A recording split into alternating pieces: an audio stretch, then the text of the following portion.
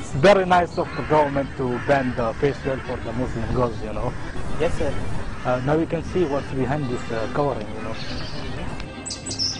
Look, here comes one. Uh, let's check it out. Excuse me, ma'am. You must be aware that face veil has been banned in the state from the 13th of this month. May I know, sir, who are you to ask me this question? We are government officials and uh, this is my card. And uh, here is my assistant. Would you please uh, read her loud the law so it would be clear for these Muslims and the people of her kind.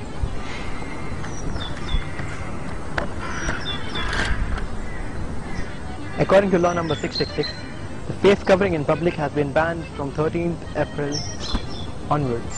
So you see, you have to remove the veil. But, okay.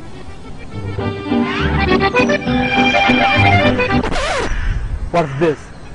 What? There is still a covering, It's not a veil. It's a medical face mask, you know. but uh, but That's my right. And according to the law, I can take any precaution as per my wish for my health care. Yes, sir, that's right. It's completely legal to do so. Now if you excuse me, I have to be somewhere.